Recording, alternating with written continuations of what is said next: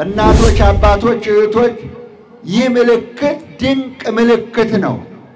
ከምድር እስከ ሰማይ እንዳልኳችሁ በምድር ላይ የተለየ ምልክት አለ። ሰባት ራስ አስር ቀንድ ያለው ዘንዶ ሴቲቱን ያሳደዳት እነሆ ወደቀ፣ ወደ ምድርም ተጣለ። እግዚአብሔርን የማይፈሩ እግዚአብሔርን የማያውቁ እግዚአብሔርን የማያመልኩ የገሃነም ደጆች ይባላሉ። ቅዱሳን መላእክት የእመቤታችን ጠባቂ ናቸው። እመቤታችን ከቅዱሳን መላእክት አትለይም። እነ ንስጥሮስ አይችሏትም፣ እነ ሰባሊዮስ አይችሏትም፣ እነ አርዮስ አይችሏትም፣ መናፍቃን አይችሏትም። ደስ ይበላችሁ። ቅዱሳን ሰማዕታትን የጠሉ አዎ ቅዱሳን መላእክትን የጠሉ ቤተ ክርስቲያንን የጠሉ ዛሬ አውሬው የዋጣቸው ብዙ ናቸው። ሰጥመው ቀርተዋል አምላካቸውን ስላላወቁ። እነ ሄሮድስ እመቤታችንን ያሳደዳት ዘንዶ ደግሞ መልአኩ ቀኝ ጎኑን በብረት ነክቶት ሸቶ ገምቶ ሞቷል።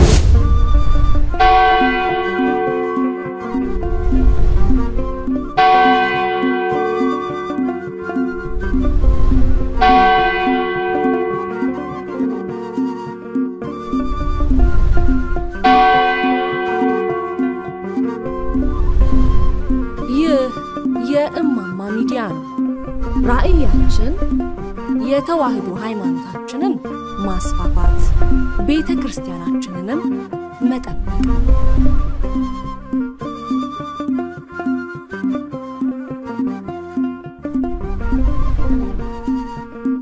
ቀጥታ ወደ ዕለቱ ትምህርተ ወንጌል ነው የምንሄደው። የዕለቱን ትምህርት የሚያስተምሩን ሊቀ ትጉሃን መምህር ገብረ መስቀል ኃይለ መስቀል ይሆናሉ። እግዚአብሔር አምላካችን ምስጢርና ጥበቡን ለመምህራችን ይግለጥልን።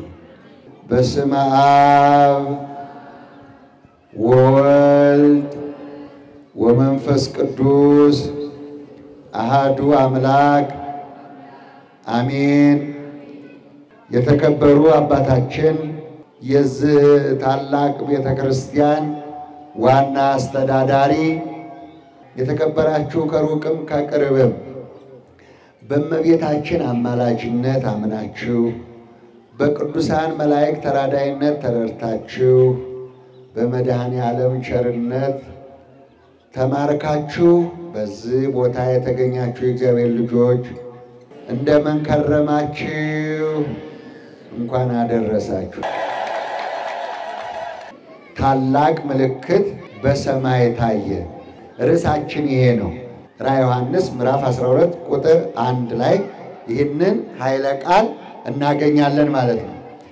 በዚህ ርዕስ ላይ ሦስት ክፍሎች ይኖሩናል። ፀሐይን ተጎናጽፋ ጨረቃ ከእግሮቿ በታች ያላት በራሷ ላይም የአስራ ሁለት ከዋክብት አክሊል የሆነላት አንድ ሴት አየው። እናቶች፣ አባቶች፣ እህቶች ይህ ምልክት ድንቅ ምልክት ነው። ከምድር እስከ ሰማይ እንዳልኳችሁ በምድር ላይ የተለየ ምልክት አለ። የተለየው ምልክት ምንድን ነው ብለን ስናስብ በትንቢተ ኢሳይያስ ምዕራፍ ሰባት ቁጥር 14 ላይ ስንመለከት ድንግል በድንግልና ጸንሳ በድንግልና ወንድ ልጅ ትወልዳለች፣ ስሙንም አማኑኤል ብላ ትጠራዋለች።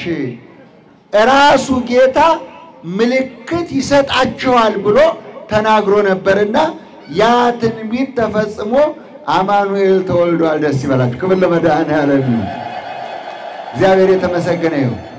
ምድራዊ ሲሆን ሰማያዊ የሆነው እንደ መላእክት የተቆጠረው ቅዱስ ዮሐንስ ወልደ ነጎድጓድ ታላቅ ምልክት በሰማይ ታየ ብሎ ነገረን። ክብር ለመድኃኔዓለም ይሁን። በምድርም ያለውን ምልክት ኢሳይያስ ነግሮናል።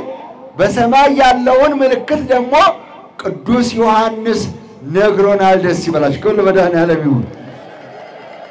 እንግዲህ የመጀመሪያው ክፍል የምነግራችሁ ፀሐይን ተጎናጽፋ የተባለችው ፀሐየ ጽድቅ የተባለው ጌታችን መድኃኒታችን ኢየሱስ ክርስቶስ ነው። ደስ ይበላችሁ። ክብር ለመድኃኔዓለም ይሁን።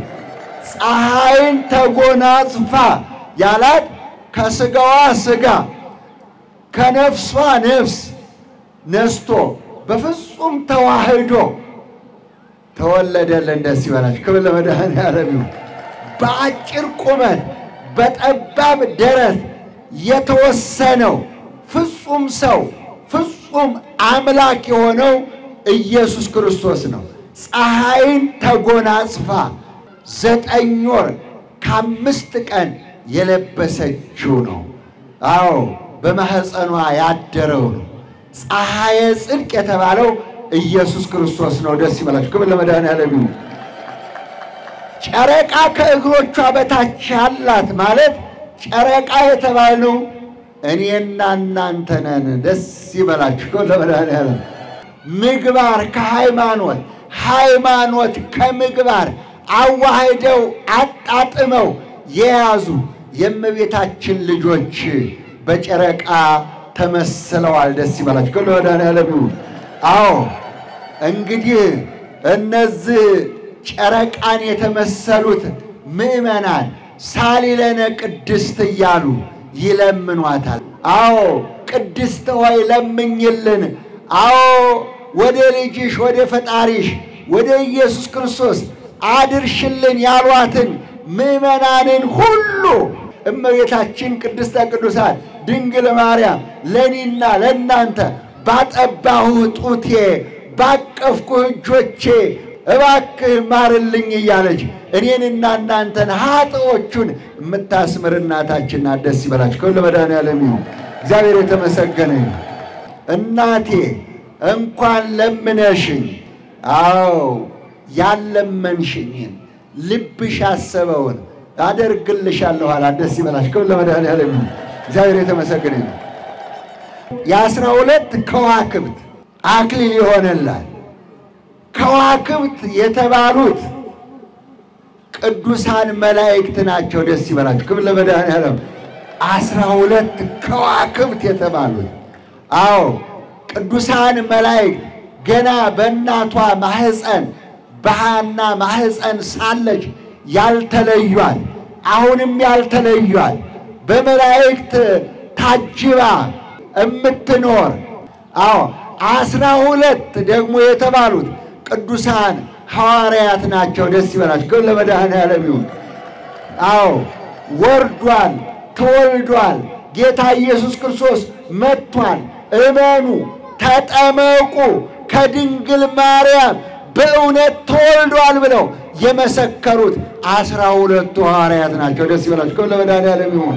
አዎ ከነሱ ጋር ያልተለየች ከመቶ ሀያ ቅዱሳን በተሰበሰቡበት ቅድስት ድንግል ማርያም በመካከላቸው ነበረች። ደስ ይበላችሁ። ክብር ለመድኃኔዓለም ይሁን። አዎ እነሱ ስለ እሷ ጽፈዋል። እነሱ ስለ እሷ መስክረዋል።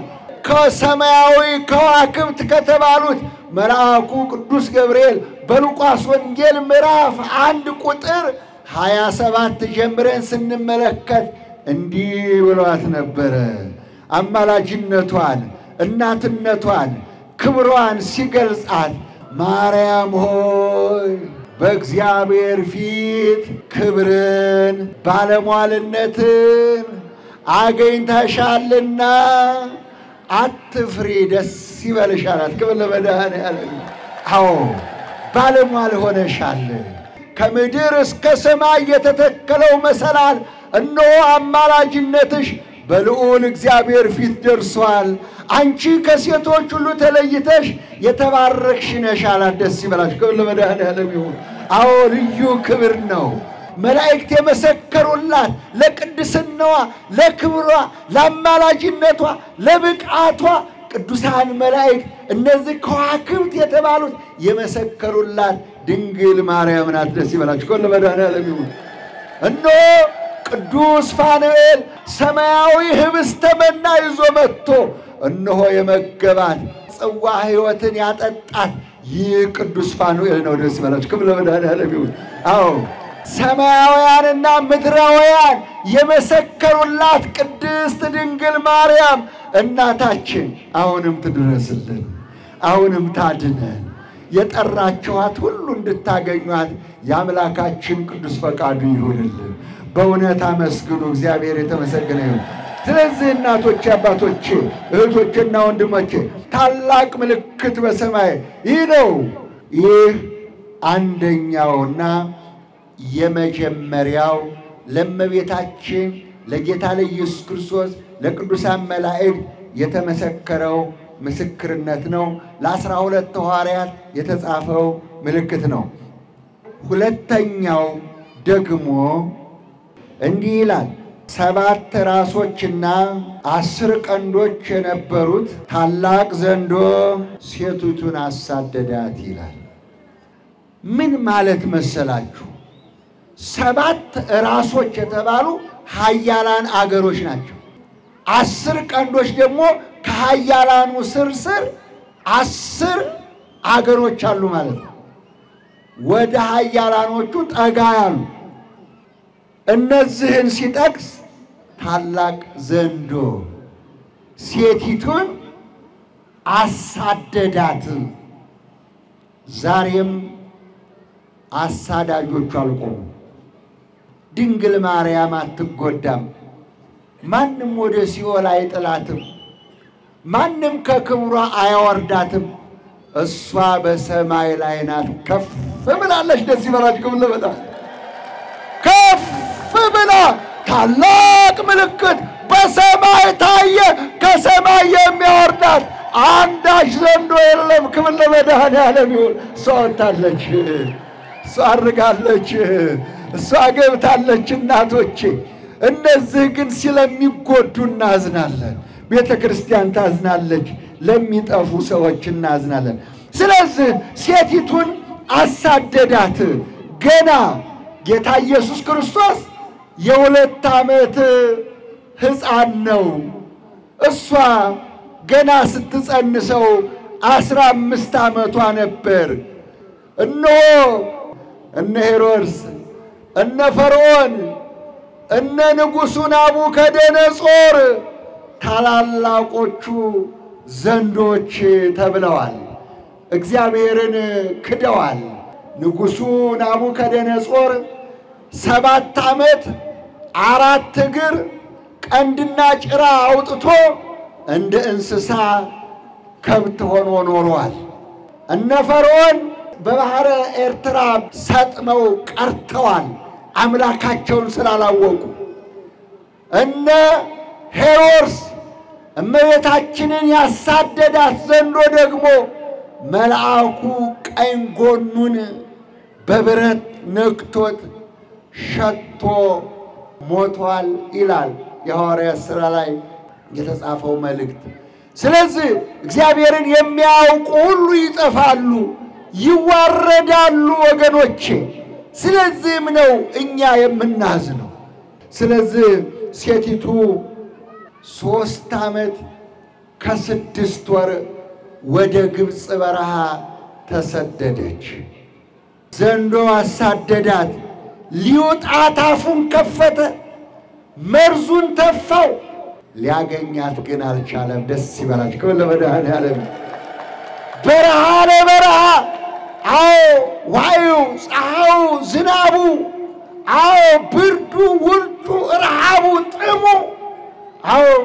ሦስት ዓመት ከስድስት ወር እመቤታችን ተሰደደች። ጌታ ኢየሱስ ክርስቶስ በዮሴፍ ጀርባ በሰሎሜ ጀርባ በድንግል ማርያም እቅፍ ሆኖ በሁለት ዓመቱ ተሰደደ። አያችሁ፣ ዘንዶው አሳደደው። ዘንዶው ሊውጠው ፈለገ። ምክንያቱም በነፍሶች ላይ ነግሷል። አምስት ሺህ አምስት መቶ ዘመን በነፍስ ላይ ነግሷል። የሰዎች ጽድቅ እንደ መርገም ጨርቅ ሆነዋል። ሰውና እግዚአብሔር ተለያይቷል። ሰውና እግዚአብሔር አምስት ሺህ አምስት መቶ ዘመን ተለያይቷል።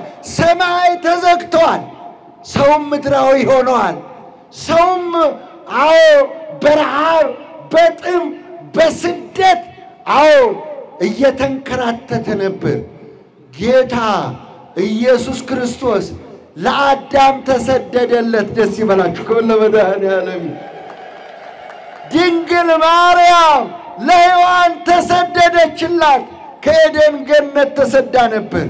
እነሆ የአዳም ክብር ይመለስ ዘንድ የሔዋን ክብር ይመለስ ዘንድ ኖ ከሦስት ዓመት ከስድስት ወር በኋላ መልአኩ መጣና ለዮሴፍ እነሆ የልጁን ነፍስ የሚፈልገው ዘንዶ ሄሮድስ ሞቷልና ልጁንና እናቱን ይዘህ ተመለስ አለ የእኛ ጌታ። ክብር ለመድኃኔዓለም ወገኔ ዛሬም ተመለሱ። ሴቲቱን የምታሳድዱ በዘንዶው ተመስላችሁ በድንግል ማርያም ላይ አፋችሁን የከፈታችሁ ሳይዘጋ ተመለሱ እንላለን። ቤተ ክርስቲያናችን ይህን ነው የምትለው። በሩ ሳይዘጋ አንደበት ሳይዘጋ እስመ ይትፈጸም አፍ ዘይነብብ አመፃ አመፅ ሽንገላ የምትናገር አንደበት ሳትዘጋ ሳትታሰር ተመለሱ ትላለች ቤተ ክርስቲያን። ተመለሱ ወገኖቼ። ድንግል ማርያምን የሚጎዳ የሚኮንን ወደ ገሃነም የሚጥል ማንም የለም። አዎ ዘንዶ ተሸነፈ፣ ወደ ምድርም ወደቀ። ደስ ይበላችሁ። ክብር ለመድኃኔዓለም። አዎ ዝቅ በሉና ቁጥር ሰባት ተመልከቱት። እነሆ በሰማይ ሰልፍ ሆነ፣ መላእክቱም ከዘንዶው ጋር ተዋጉ፣ እነሆም ዘንዶው ተሸነፈ፣ ወደ ምድርም ተጣለ ይላል። ክብር ለእሱ ይሁን። እግዚአብሔር የተመሰገነ። አዎ ወደ ምድር ተጣለ። አልቻላቸውም። አዎ አልቻላቸውም። ቅዱሳን መላእክት የእመቤታችን ጠባቂ ናቸው። እመቤታችን ከቅዱሳን መላእክት አትለይም። እነሆም ልጇ አክብሯታል። ደስ ይበላችሁ። ክብር ለመድኃኔዓለም ይሁን። እናቶቼ፣ አባቶቼ፣ እህቶቼ፣ ወንድሞቼ ያው ያ ዘንዶ ሰባት ራስ አስር ቀንድ ያለው ዘንዶ ሴቲቱን ያሳደዳት እነሆ ወደቀ፣ ወደ ምድርም ተጣለ፣ ሞተ። ደስ ይበላችሁ። ከዚህ መማር ያስፈልጋል። ከዚህ ማወቅ ያስፈልጋል። አንብቦ ትርጉሙን መረዳት ያስፈልጋል።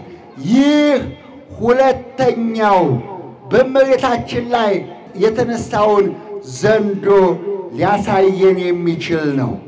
ሦስተኛው እና የመጨረሻው ደግሞ የማቴዎስ ወንጌል ምዕራፍ 16 ቁጥር 18 ላይ እንዲህ የሚል ቃል እናገኛለን።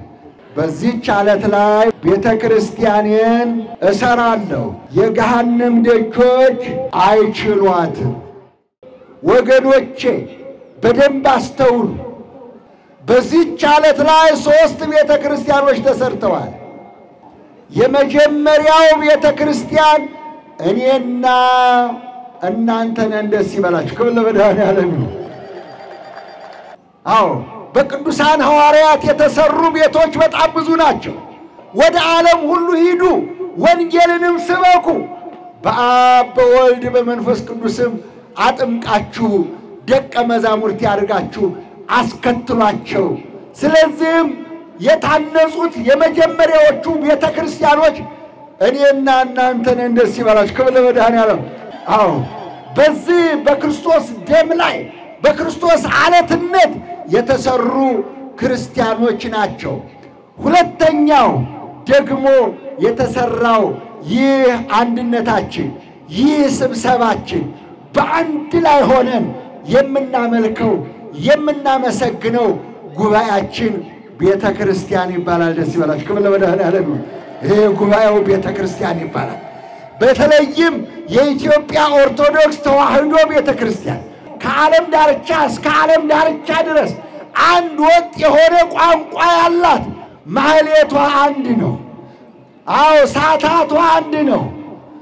አዎ ቅዳሴዋ አንድ ነው። ኪዳኗ አንድ ነው። አዎ መግቢያዋ መውጫዋ አንድ ነው። አንቀጿ አንድ ነው። እግዚአብሔር የተመሰገነ ይሁን። ሶስተኛው ህንፃው ቤተ ክርስቲያን ይባላል። ግን ሁለት ነገር አለው። የመለኮት የእግዚአብሔር ማደሪያ የሆነ ቤተ ክርስቲያን፣ እንደገና የክርስቲያኖች ቤት የሆነ ቤተ ክርስቲያን። ስለዚህ ሰላም ለኪ ቅድስት ቤተ ክርስቲያን አምሳለ ኢየሩሳሌም ቅድስት በቀራንዮ አምሳል የተሰራሽ ስጋው የተቆረሰብሽ ደሙ የፈሰሰብሽ ሰላም ለኪ ቅድስት ቤተ ክርስቲያን እንላታለን። ክብር ለእሱ ይሁን። በዚህች ዓለት ላይ ቤተ ክርስቲያኔን እሰራታለሁ፣ የገሃነም ደጆች አይችሏትም አለ።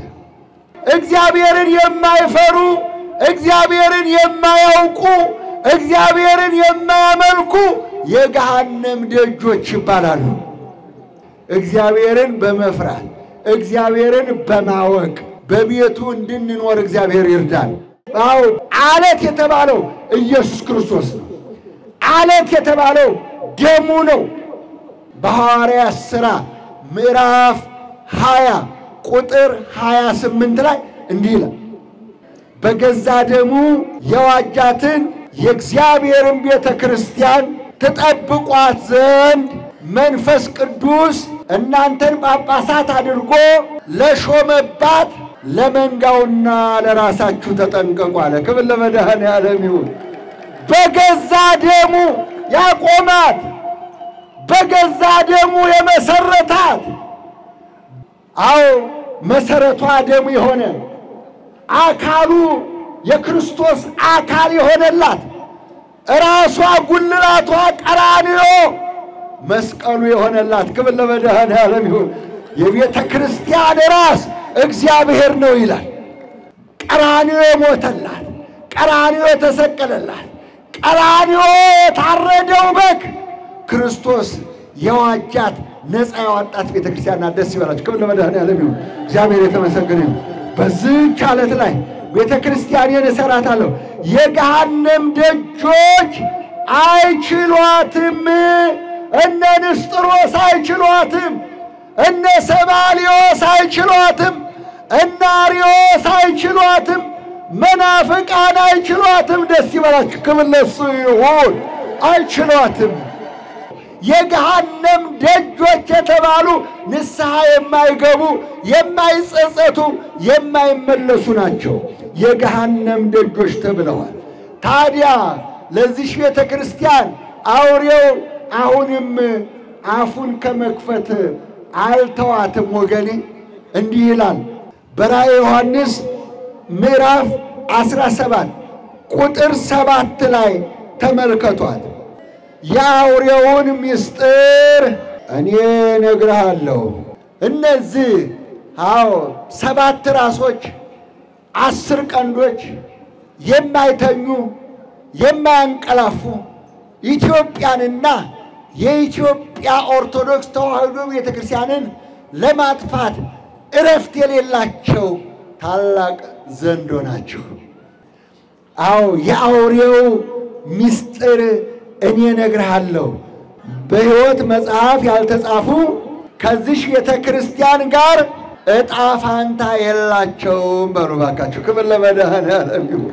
የላቸውም ወገኔ። አዎ አውሬው ምን እየሰራ እንደሆነ ወቁ። ትላንትና ልጇን ኢየሱስ ክርስቶስን ያሳደደ ድንግል ማርያምን ያሳደደው አውሬ ዛሬም ምዕመናንን ከቤተ ክርስቲያን አውጥቶ ግብረ ሰዶም አድርጎ አዎ ለዚሽ ቤተ ክርስቲያን አውሬው አሁንም አፉን ከመክፈት አልተዋትም። ወገኔ እነሆ ከሰማይ የወረደሽ ቤተ ክርስቲያን ደስ ይበላችሁ። ክብር ለመድኃኔዓለም። አዎ በእናቴ ስም በድንግል ማርያም ስም ከሦስት ድንጋዮች ሰማያዊ ቤተ ክርስቲያን ተሰራ። ደስ ይበላችሁ። ክብር ለመድኃኔዓለም ይሁን። አዎ በሰው እጅ አይደለ፣ በእግዚአብሔር እጅ በቅዱሳን መላእክት የቤተ ክርስቲያን ስርዓት የተሰራባት ይችን ቤተ ክርስቲያን ለማፍረስ አዎ ሰባት ራስ አስር ቀንድ ያላቸው እነዛ ዘንዶች ተነስተውባታል። ወገኔ ገፍተው ይጥሏት ይሆን? አይጥሏትም። አዎ ካሁን በፊትም አፋቸውን የከፈቱ አልጣሏትም። ካሁን በፊትም ቦምብ የጣሉባት፣ መርዝ የነሰነሱባት፣ እሳት የለኮሷት ብዙ አሉ፣ ግን ተሸንፈው ወድቀዋል። ክብር ለመድኃኔዓለም። ምዕመናን አስተውሉ፣ ወደ ራሳችሁ ተመለሱ፣ ከጥፋት ራሳችሁንም አድኑ። ወገኖቼ ዛሬ ይህ አውሬው የበላቸው አውሬው የዋጣቸው በአውሬው ሆድ ያሉ በጣም ብዙ ናቸው። ወላዲት አምላክን የጠሉ ቅዱሳን ሰማዕታትን የጠሉ አዎ ቅዱሳን መላእክትን የጠሉ ቤተ ክርስቲያንን የጠሉ ዛሬ አውሬው የዋጣቸው ብዙ ናቸው። ከአውሬው አፍ እግዚአብሔር ያድናችሁ። አዎ የጽድቅ ሥራ ሰርተን ሰማያዊ ሥራ ሰርተን ሕይወትን ይዘን ብንድን እግዚአብሔር ይርዳን። ታላቅ ምልክት በሰማይ ታየ። ላስተማረን፣ ለመከረን፣ ለገሰጸን ለልዑል አምላካችን ክብር ምስጋና ይድረሰው። ቃለ ሕይወት ያሰማልን፣ በእድሜ በጸጋ ይጠብቅልን፣ ከበዓሉ ረድኤት በረከት ያሳትፈን። የእመቤታችን አማላጅነት የቅዱሳን ጸሎት የአባቶቻችን ጸጋና በረከት ይደርብን። አባታችን ሆይ አይናችን ነሽ ማርያም አንቺን አይንኩብን፣ የተዋህዶ ልጆች እንወድሻለን። ሰላም ጤና ይስጥልኝ። የተከበራችሁ የእማማ ሚዲያ አድማጭ ተመልካቾቻችን እንደምን ቆያችሁን? የቅኝት መርሃ ግብራችንን እንደሚከተለው የምናቀርብላችሁ ይሆናል። በዚህ የቅኝት መርሃ ግብራችን የምንመለከተው በሰገነት ቅድስት ኪዳነ ምሕረትና አቡነ ዜና ማርቆስ አንድነት ገዳም የመጥምቀ መለኮት ቅዱስ ዮሐንስ ዓመታዊ ክብረ በዓልን የምናስቃኛችሁ ይሆናል። አብራችሁን ቆዩ። በዚህ ዕለት ሐዋርያ ነቢይ መጥምቀ መለኮት ቅዱስ ዮሐንስ የተወለደበትን ዕለት በማሰብ የተከበረ ሲሆን በዕለቱ በሊቃውንት ወረብ ቀርቧል።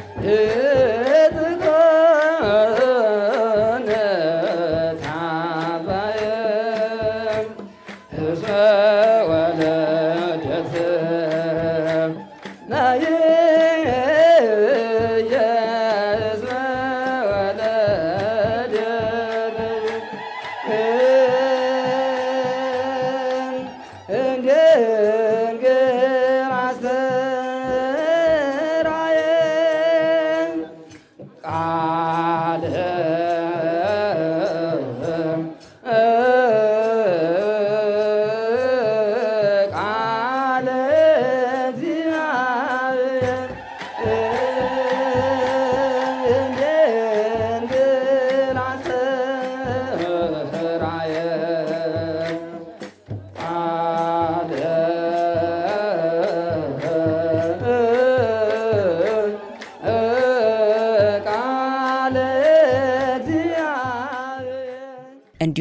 በደብሩ የሰንበት ተማሪዎች ዝማሬ ቀርቧል። በውስተ ከርስየ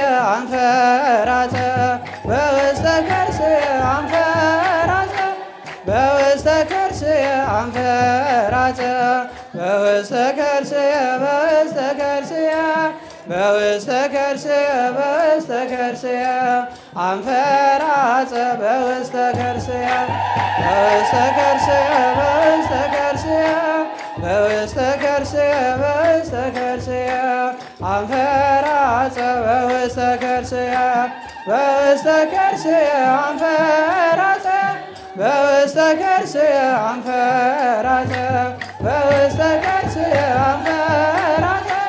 በውስተ ከርስየ አንፈራጸ በውስተ ከርስየ በውስተ ከርስየ በውስተ ከርስየ በውስተ ከርስየ አንፈራጸ በውስተ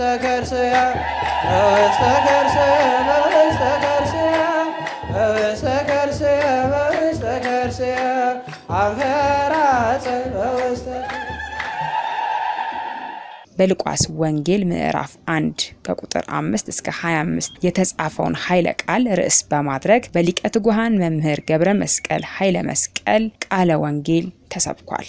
ኤልሳቤጥ ሁልጊዜ ሕጉን በመጠበቅ ዘካርያስ ሕጉን በመጠበቅ ሁለቱም በእግዚአብሔር ፊት ጻድቅ ነበሩ ይላል። የእምነት ጸሎት ያድናል። ዘካርያስ አምኖ ጸልየዋል። ኤልሳቤጥ አምና ጸለያለች። እግዚአብሔር ይፈጽማል፣ አይዘገይም። ተስፋ ሳንቆርጥ ከጸናን እንደ ኤልሳቤጥና እንደ ዘካርያስ የፈለግነውን ነገር ማግኘት እንችላለን። ደስ ይበላችሁ። ክብር ለእሱ ይሁን። በማቴዎስ ወንጌል ምዕራፍ 11 ቁጥር 11 ላይ ማንም የማይስተካከለው መጥምቀ መለኮት ቅዱስ ዮሐንስ ዛሬ የተወለደ። ደስ ይበላችሁ። በመቀጠልም የሰገነት ቅድስት ኪዳነ ምሕረትና አቡነ ዜና ማርቆስ አንድነት ገዳም አስተዳዳሪ የሆኑት መልአከ ሕይወት ቆሞስ አባ ኃይለ ጊዮርጊስ መልእክት በማስተላለፍ ቃለ ምዕዳን እና ቡራኬ በመስጠት መርሃ ግብሩ ተጠናቋል። እግዚአብሔር ይስጥልን፣ እግዚአብሔር ያቆይልን። አባታችንን በእውነት ቃለ ሕይወት ያሰማልን፣ እድሜና ጤና ይስጥልን። አቤቱ አምላካችን እግዚአብሔር ሆይ ኢትዮጵያ ሀገራችንን ጠብቅልን። በልዩ ልዩ ፈተና ውስጥና በችግር ውስጥ ያሉትን ወገኖቻችንን ከችግራቸው ታደጋቸው። በእውነት የታመሙትን ወገኖቻችንን ፈውሳቸው። የታሰሩትን ወገኖቻችንን አስፈታልን። የተወለዱትን ሕፃናት አሳድግልን። ከመጣው ማቅሰፍትና መዓት ሁሉ እኛን እንድትሰውረን ቅዱስ ስምን እንዲህ ብለን እንጠራለን። አባታችን ሆይ